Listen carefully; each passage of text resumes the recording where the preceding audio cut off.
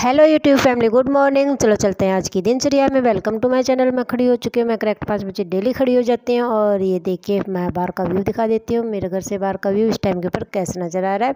फिर चल देती हूँ मैं फटाफट नीचे, क्योंकि आज है मेरा प्रायन तो मेरे को सबसे पहले स्नान करना और एक चीज़ हो रहा है आज है अमावस।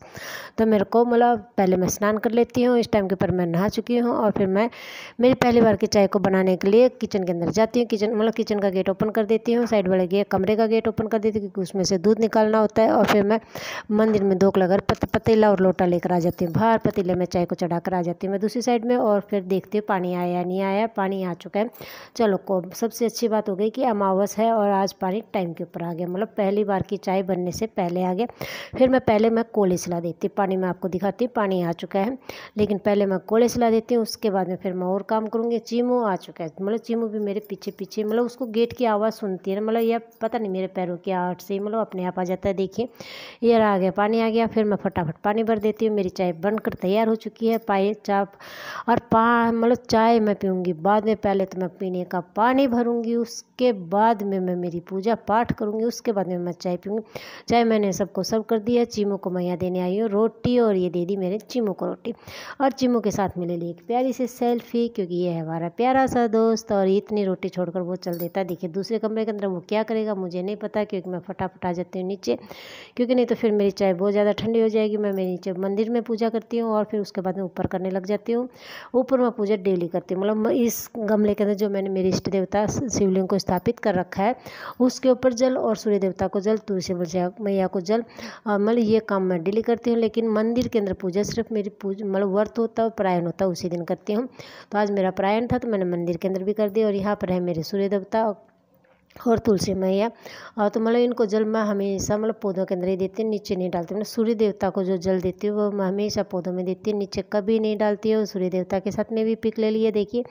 लेकिन सूर्य देवता बादलों के पीछे छिपे हुए हैं और फिर मैं अपना झाड़ू लगाना स्टार्ट कर देती हूँ। झाड़ू आज मैं नीचे का पहले कंप्लीट करूँगी, क्योंकि आज है अमावस तो आज नीचे की सफ़ाई करनी बहुत ज़्यादा ज़रूरी है, क्योंकि जहाँ पर खाना बनता है, वहाँ पर सफ़ाई होने के बाद में ही खाना बनता है। मतलब ऐसे खाना नहीं बनता है तो मतलब सबसे पहले झाड़ू, पोछा चूल्हे को साफ़ करना मतलब सब सब कुछ कंप्लीट करके फिर खाना बनता है तो फिर देखिए मेरी सफ़ाई मतलब अंदर जहाँ पर खाना बनेगा, वहाँ पर मैंने कंप्लीट कर दी है और अब मैं यहाँ से धोती जाऊँगी और काम करती जाऊँगी मतलब सफ़ाई का, और बादल वगैरह बुरी तरह छाए हुए हैं, सूर्य देवता कहीं पर भी नज़र नहीं आ रहे, लेकिन गर्मी बहुत भयंकर है क्योंकि हुमस के कारण है, क्योंकि गुन के पापा कहते बारिश तेज़ हो जाएगी तो मतलब गर्मी कम हो जाएगी, लेकिन गर्मी होने, कम होने का नाम नहीं ले रही है, फिर आ जाती प्यारी सी गौ माता और फिर मैं उसको दे देती हूँ, अमावस की जो हमारी रोटियाँ निकलती हैं, वो मतलब पितरों के नाम की तो वो अमावस वो घूंघट के अंदर ही दी जाती है। मतलब डेली जो गौ माता की रोटी दी जाती है, वो घूंघट के अंदर नहीं दी जाती लेकिन जो अमावस की होती है ना, वो दी जाती है। इसका रीज़न मुझे नहीं पता, कभी किसी से पूछा नहीं है। लेकिन हाँ ये कि अमावस की रोटी हमेशा घूंघट के अंदर ही दी जाती है। अमावस की जो पूजा होती है, वो भी लेडीज़ घूंघट के अंदर ही करती है, दिया भी घूंघट के अंदर ही करती है। हाँ लेकिन जो डेली गौ माता की निकलती है, उसके लिए घूंघट की ज़रूरत नहीं होती, मुझे नहीं पता है। मतलब ये प्रोसेस होता है और यह गौ माता को देने के बाद में फिर मैं चल देती हूँ, जो कल रोटी बनाई थी, गौ माता की वो दे नहीं पाए थे, क्योंकि गौ माता लेट आई थी मतलब हम नहीं देख पाए थे, फिर गौ माता को रोटी दे दी है और फिर ये देखिए इस प्यारी सी गौ माता को दी है मतलब ये बिल्कुल यंग है। मतलब ज़्यादा बड़ी नहीं हुई है और ये देख मैं, फिर मैं मेरी सफ़ाई करनी शुरू कर देती। कमरे की हालत मैंने आपको दिखा दी कितनी बुरी तरह फैली हुई है।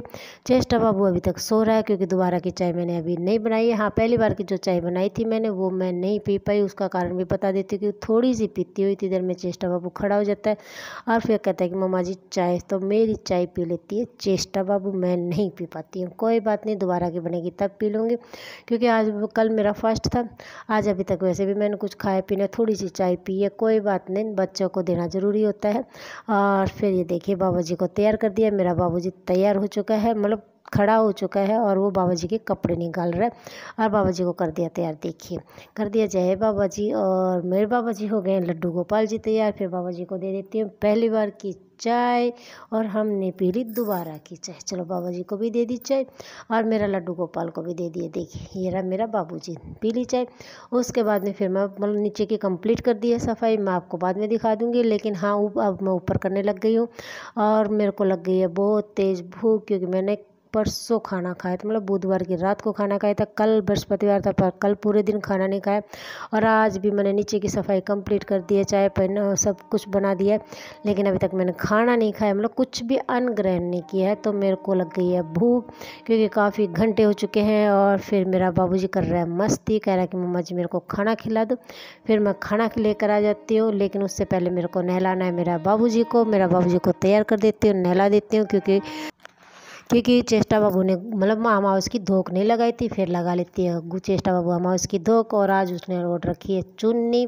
देखिए, चुन्नी के मतलब बार बार बेचारी चुन्नी के अंदर बुरी तरह दुखी हो चुकी है, फिर मैं झाड़ू लगाना और स्टार्ट कर देती हूँ, क्योंकि अभी तक खाना नहीं बना है।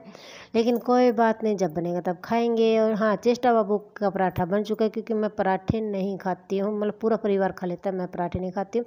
फिर ये देखिए, बाबा जी को खाना दे दिया, चेष्टा बाबू को खाना खिला रही सफ़ाई कर रही हूँ, और ये है नीचे की सफ़ाई कंप्लीट हो चुकी है मतलब उस साइड का मैंने एरिया दिखा दिया था, अभी इस साइड का एरिया। मतलब चलो सफ़ाई हो गई कंप्लीट, नीचे की और गुनों के मतलब मुँह के अंदर हो गए, फिर से छाल ले।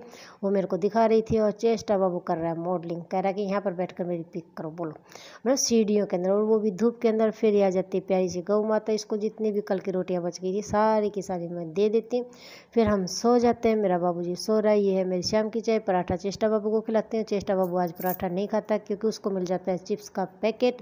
कहता है कि मामा जी, पराठा नहीं खाऊँगा क्यों हाँ थोड़ा बहुत ही खाता है ज़्यादा नहीं खाता है। और उसके बाद में मैं और चेष्टा बाबू मतलब एक क्या करते हैं मतलब डांस करने की कोशिश करने की कोशिश करते हैं। पता नहीं हो पाता या नहीं हो पाता, क्योंकि कभी लाइफ में किया नहीं है।